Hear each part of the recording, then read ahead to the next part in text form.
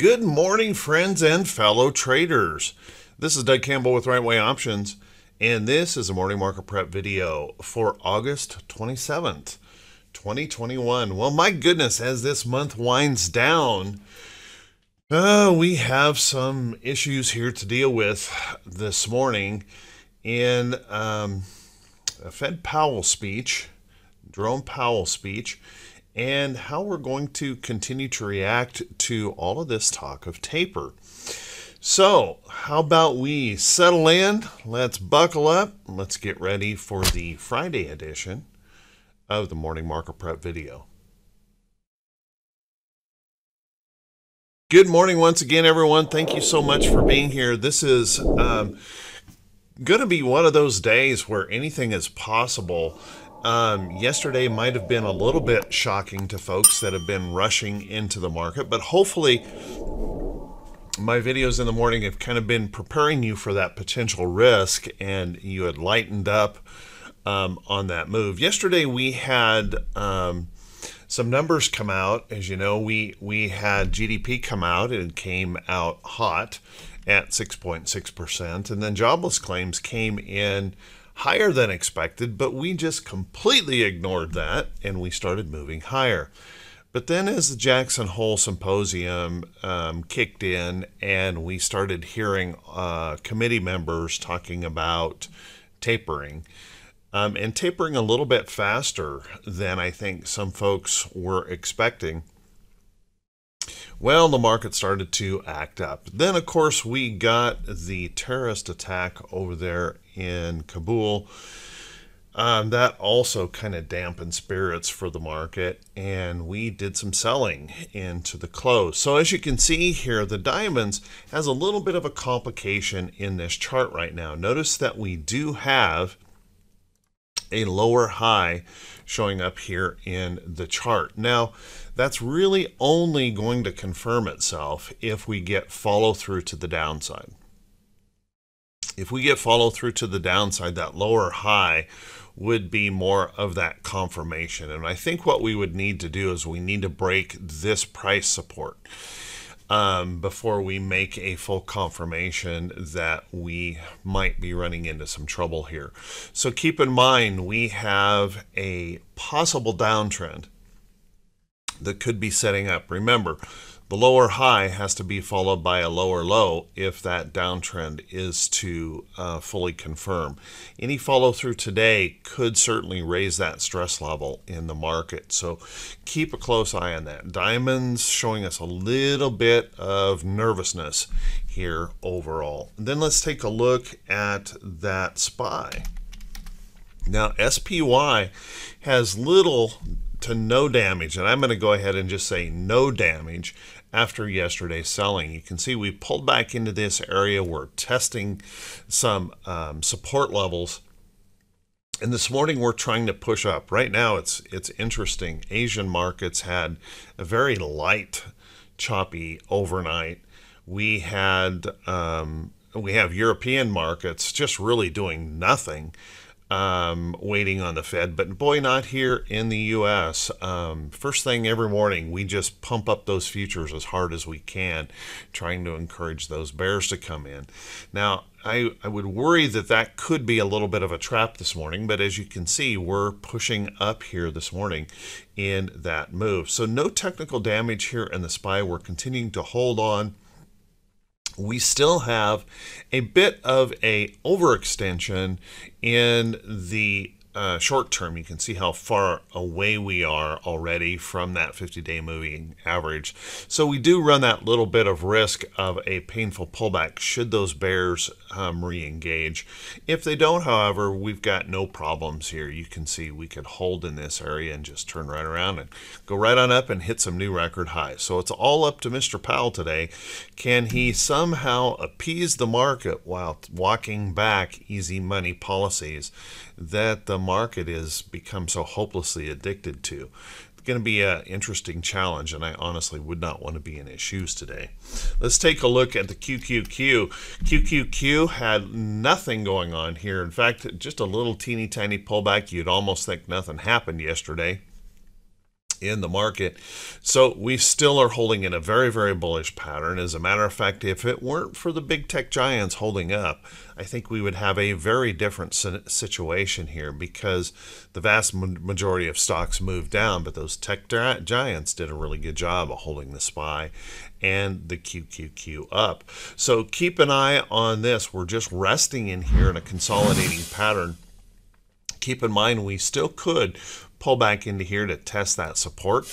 And if we test out the support, um, it might be a little bit painful because of the size of the move, but it doesn't change anything. Um, we are still a bullish chart um, in that situation.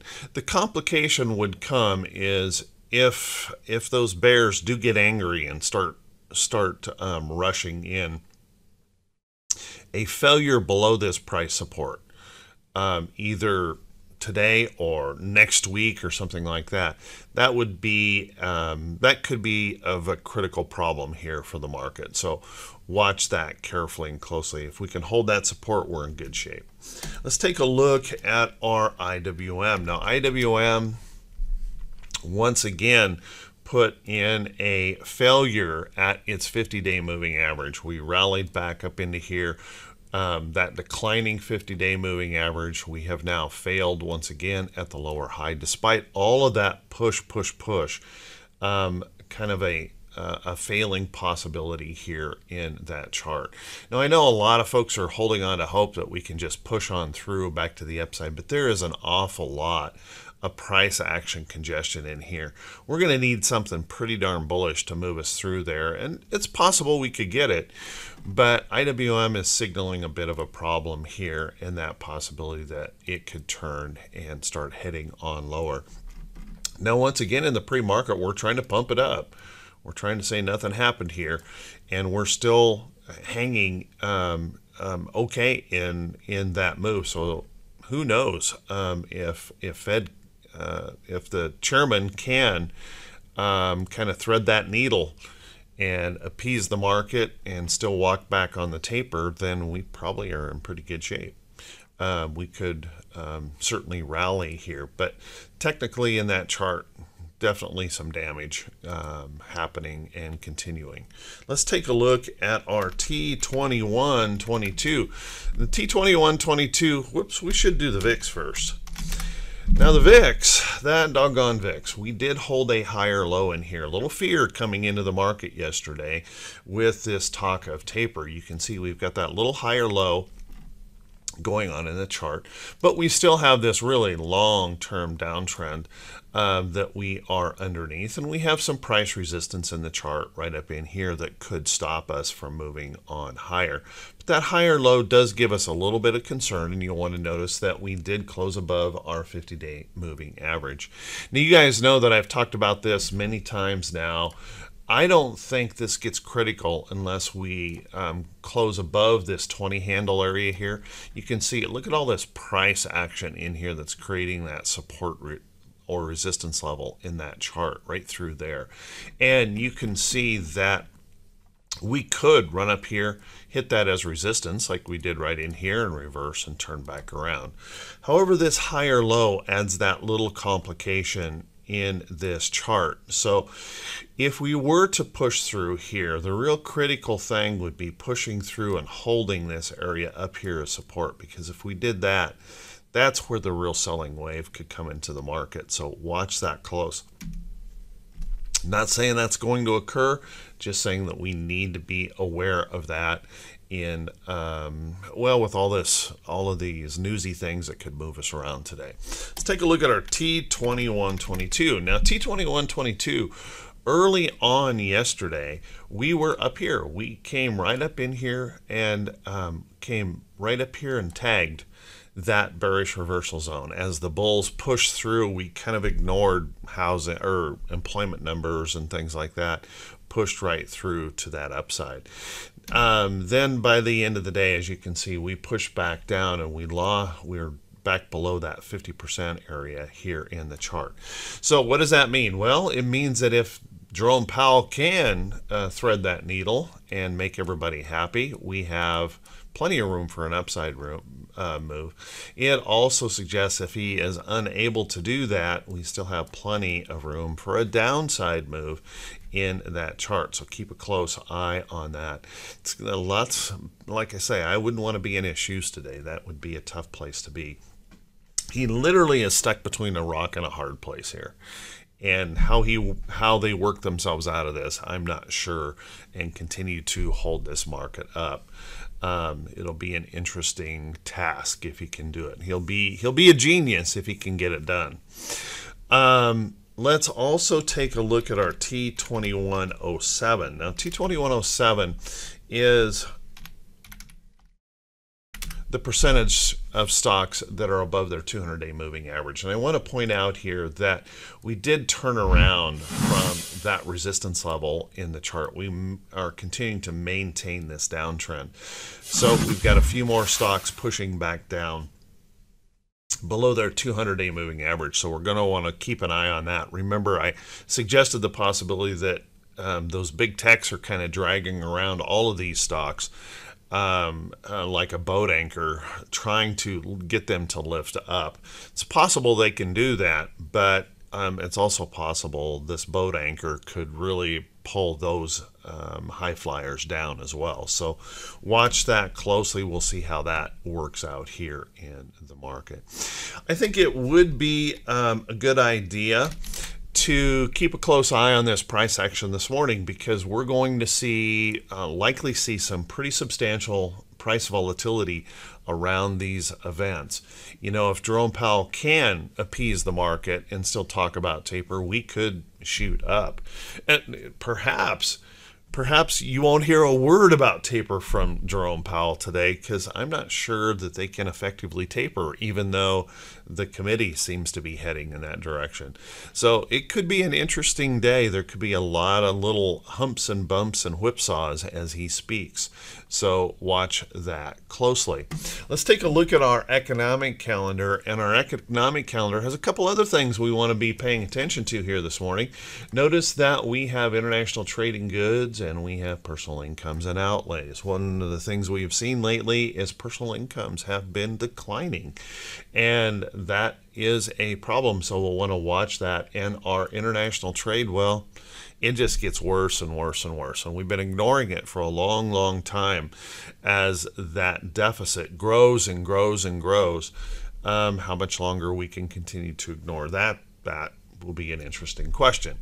And then, of course, we have the Jerome Powell speech. Now, I do have a, a there's a conflict here. The um, Econoday calendar has Jerome Powell speaking at 10, but I saw another calendar that has Jerome Powell speaking earlier th- than that this morning. So um, I'm not sure what is correct here, but keep an eye on that.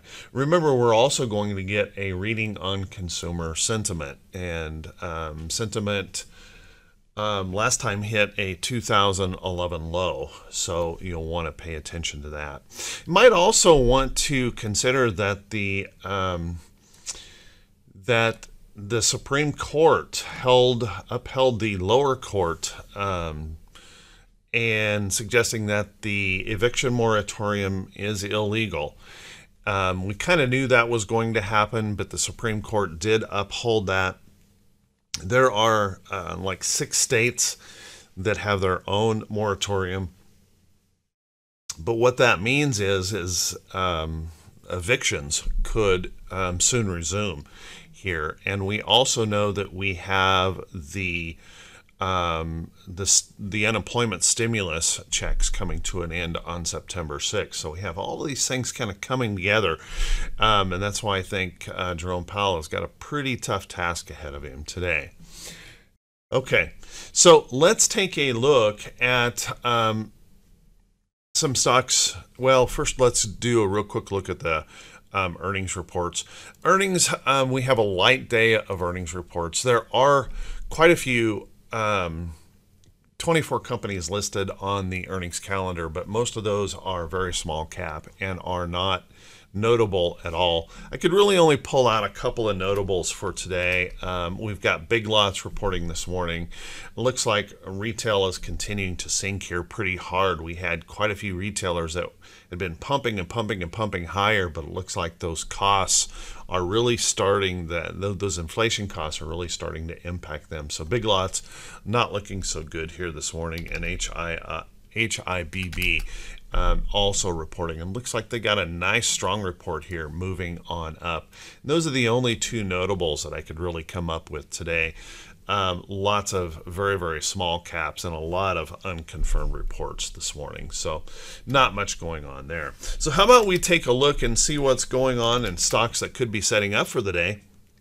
But before we do that, guys, if this is the first time you've seen these videos, if you could please click that subscribe button on YouTube and also click that bell icon when it pops up so that you'll be notified every time I post one of these videos.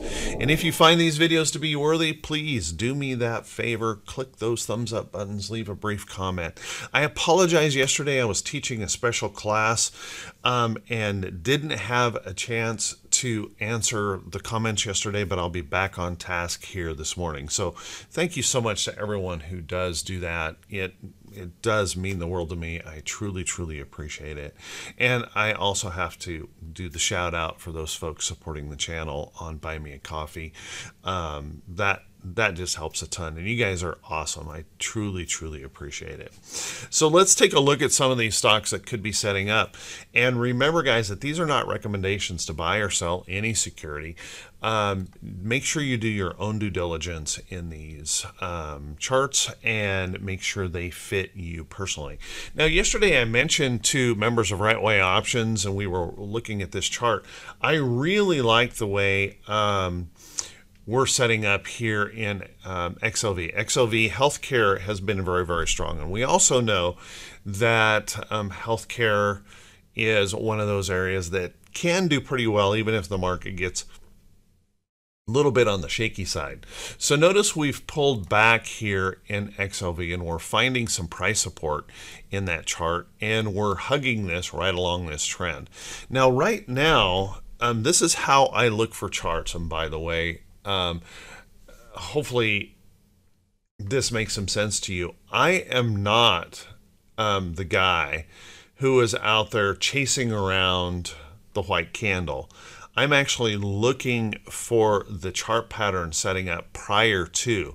And you can see right here, I've set a price alert. This right here is a price alert in the chart. And what I'm waiting for is if this shows a bullish candle that pops up in here. Now, I don't care if it happens today, tomorrow, the next day, but what I want it to be doing is reacting to this support and this trend in the chart. So if I can get that bullish signal to occur either here or here, doesn't really matter. It could come over here. Doesn't really matter. I'll be looking for a potential entry there into um, XLV um, in that healthcare sector, or I may switch over and look at the individual stocks that make up that sector, looking for that bullish opportunity um, in that in that chart. So that's how I look for these trades. I want to see that resting pullback. I want to see that consolidation that's holding trend and support. We got some nice charts starting to form up that way. Take a look at AMD. Here's another one of those charts, AMD, where we break that downtrend here, kind of slide out from under it. We're heading out over here to this trend. So I'm placed a price alert here on AMD. If that can find that bullish energy, to push on through. There may be some opportunities here in AMD after that pullback. Watch that carefully. It's looking pretty good here overall.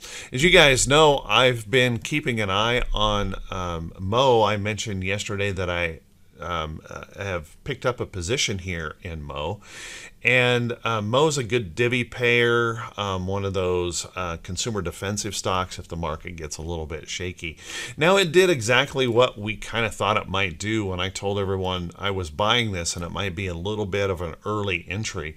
In that fact that this may have to bounce around in here a little bit to come out to trend, to build enough energy maybe to pop through. So we ran up here yesterday. We tagged this resistance area in the chart and um, so no big surprise here, but um, keep an eye on Mo breaking out from underneath this downtrend, starting to look to the upside. We did this the same exact trade right over here where we broke the downtrend. Um, and took this nice move up in Altria. So keep a close eye on that. Looking very, very good. You might want to take a look at some short trades today. Now, I've been mentioning these um, to folks in RWO, and um, I think I mentioned them in some of the morning prep videos. Visa um, set itself up as a short. We're following this downtrend here. Notice we've kind of got that double top high in here. We're rejecting this resistance level in the chart, and that short was a pretty simple um, a thing to see uh, coming in that market. Watch this as that possibility.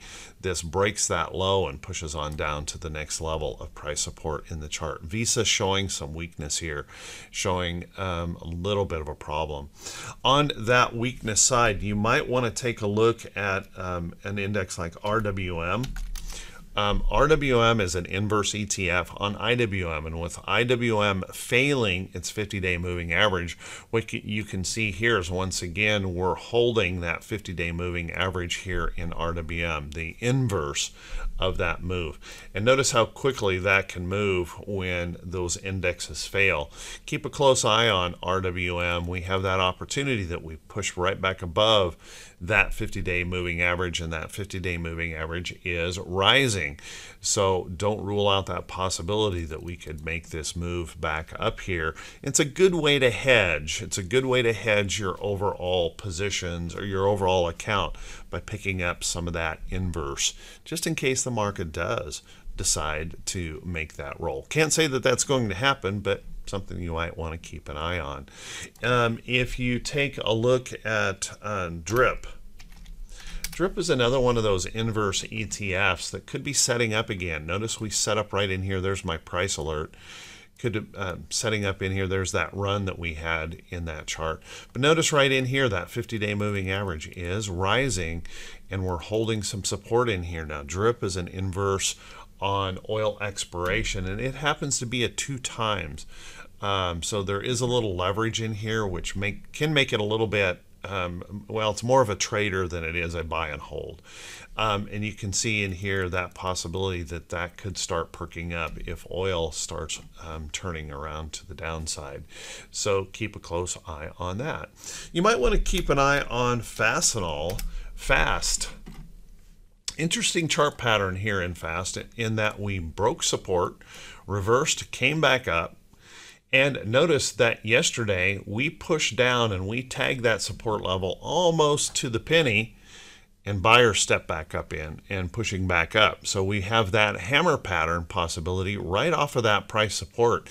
Now all we need is a little bit of follow through to the upside. So you might want to place a price alert up in here and see if that can push on through to the upside. We've been seeing um, housing stocks holding up quite well um, in the market. A little bit surprising to me, honestly, but um, because mortgage applications are not strong but they're holding up very strongly, and we can see Fastenal as as one of the companies that supplies all those builders that opportunity that that could move on higher. So keep a close eye on that. Looking pretty decent here. So with that, everyone, hey, I want to wish you all a fantastic day in your trading. And I know this is, you know, I've been talking a lot about be careful, be careful, be careful, and and I know that gets boring, but um, it's also um, been very important to continue to say it because there are some issues out there that concern us in the market in this. We know that at some point in time, um, those bears will re-engage and then they will stay engaged for a period of time. I don't know when that's going to be, but guys, be a little bit careful. I want to wish you all a fantastic day. I want to wish you great profits in your trading, and we'll see you right back here bright and early Monday morning. Wish you all of the best.